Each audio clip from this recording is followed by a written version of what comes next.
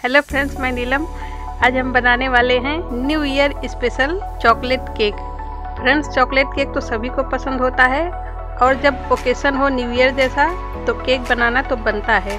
आपने हमारे Christmas cake के वीडियो पे बहुत सपोर्ट किया था, इसीलिए आज हम एक टेस्टी और डिलीशियस रेसिपी लेकर आए हैं।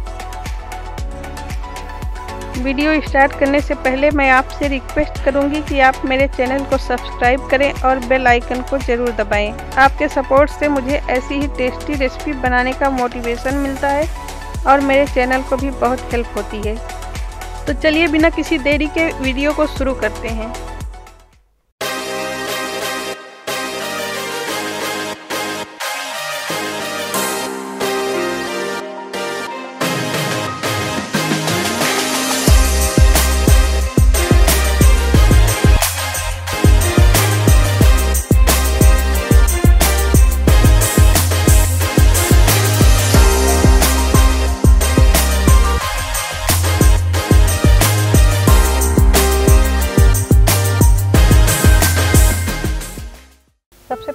चॉकलेट गनाश बनाएँगे।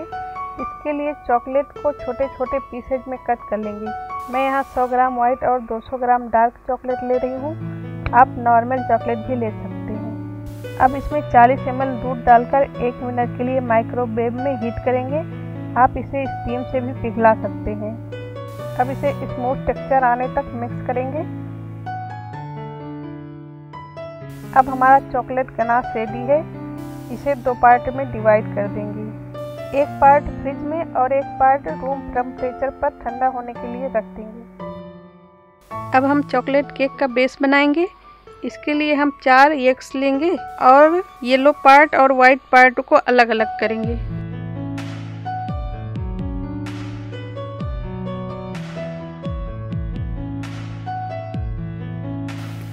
अब हम वाइट पार्ट को साइड में रख देंगे। और येलो पार्ट में दो टीस्पून वेनिला एसेंस और आधा टीस्पून नमक और वन फोर्थ कप तेल डालकर अच्छे से मिक्स करेंगे।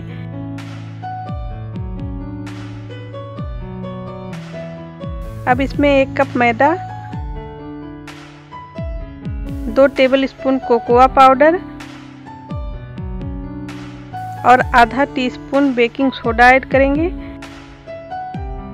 अब इसमें आधा कप दूध डालकर अच्छे से मिक्स करेंगे। दूध हमें थोड़ा थोड़ा करके ही डालना है, जिससे हमारा बैटर लूज डो के फॉर्म में रहे, बिल्कुल भी लिक्विडी जैसा ना रहे। अब हम एक वाइट में एक टीस्पून विनेगर और आधा कप पिसी चीनी ऐड करके बीट करेंगे।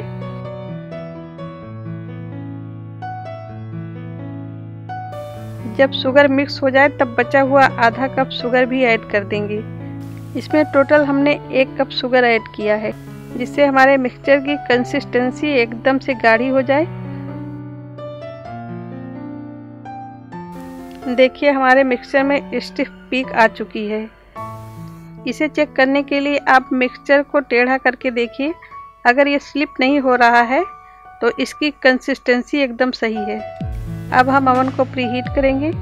इसके लिए हम एक प्लेट में पानी लेंगे। इसे ओवन में रखकर 160 डिग्री पर प्रीहीट करेंगे।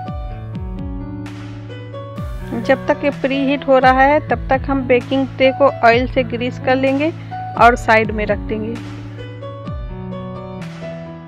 अब हम केक के बैटर में एक वाइट और शुगर का जो मिक्सचर बना कर रखा था, उसे थोड़ा थोड़ा ऐड करेंगे और अच्छे से मिक्स करेंगे। इसे हमें हल्के हाथों से मिक्स करना है।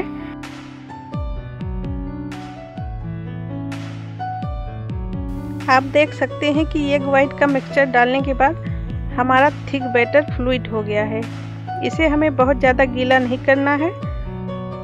जब तक हमारा केक का बैटर रेडी होता है, तब तक आप मेरे वीडियो को लाइक करें और अपने दोस्तों के साथ शेयर करें। और अगर रेसिपी ज़्यादा अच्छी लगे तो कमेंट भी कर दीजिए। और नहीं अच्छी लगी तो डिसलाइक का बटन भी है, लेकिन इसे आप ना ही दबाएँ तो ज़्यादा बेटर रहेगा। बैटर की कंसिस्टेंसी बिल्कुल ऐसी होनी चाहिए। अब इसे बेकिंग ट्रे में डालकर हल्का डैप करेंगे, जिससे सारे एयर बबल्स निकल जाएँ।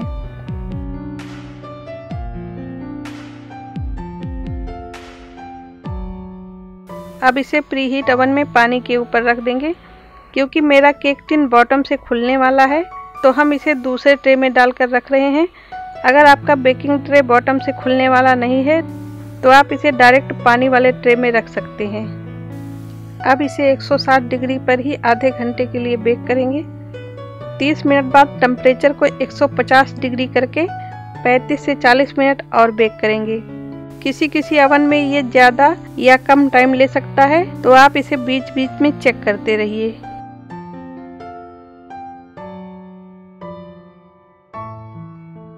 देखिए, हमारा केक रेडी हो गया है।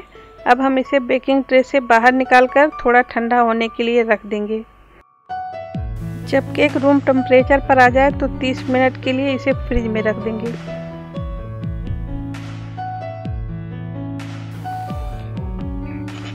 अब हमारा केक हो गया है ठंडा। अब हम इसकी स्लाइसिंग कर लेंगे। इसके लिए सबसे पहले ऊपर वाली लेयर को हटाकर केक को इवन कर लेंगे।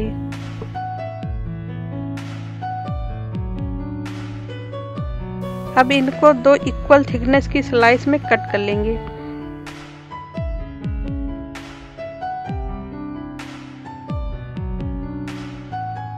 अब केक बोर्ड पर एक स्लाइस को रखकर उस पर थोड़ा सा शुगर सिरप डालेंगे।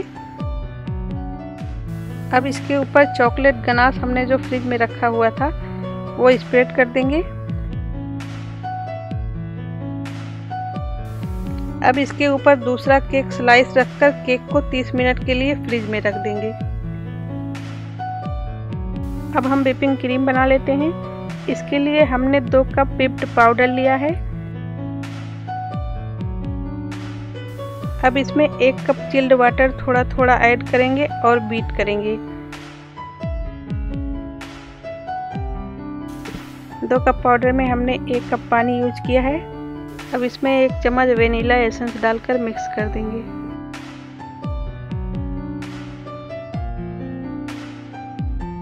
इसे हमें तब तक बीट करना है जब तक कि इसमें स्टिफ पीक ना बन जाए।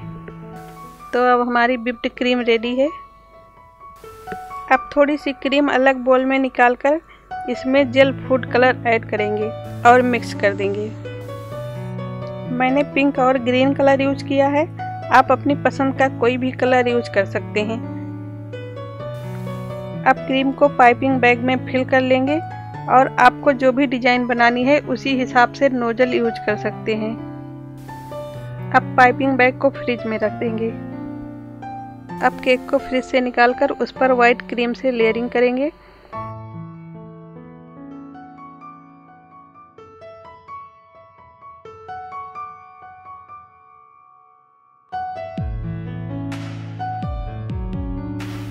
जब लेयरिंग हो जाए तब चॉकलेट गनाश जो हमने रूम टेम्परेचर पर रखा था, उसे केक के ऊपर फैला देंगे। और स्पैचुला की हेल्प से हल्के हाथों से इवनली स्प्रेड कर देंगे। मैंने केक के नीचे बटर पेपर रख दिया था, जिससे केक बोर्ड गंदा ना हो। अब केक को 45 मिनट से एक घंटे के लिए फ्रिज में रख देंगे, जिससे हमारा चॉकलेट अच्छे से सेट हो जाए। एक घंटे बाद केक को फ्रिज से बाहर निकालकर बटर पेपर हटा देंगे।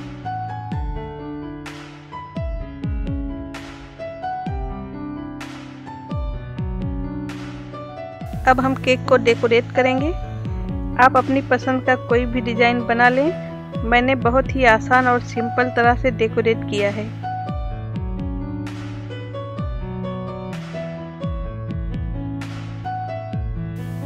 मैंने इसमें इस तरह से फ्लावर्स बनाकर लगा दिए हैं।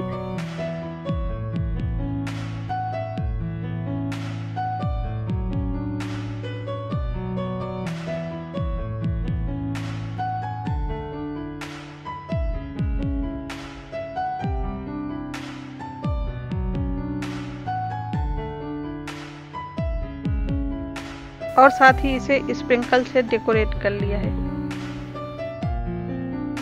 तो अब हमारा चॉकलेट केक रेडी है। तो फ्रेंड्स, अब हमारा चॉकलेट केक रेडी है। फ्रेंड्स, देखिए ये कितना ब्यूटीफुल बना है और ये बहुत ही ज़्यादा सॉफ्ट और टेस्टी है। अब आप भी इस न्यू ईयर में रेसिपी को ज़रूर ट्राई करें। होपफुली ये आपको बहुत पसंद आएगी।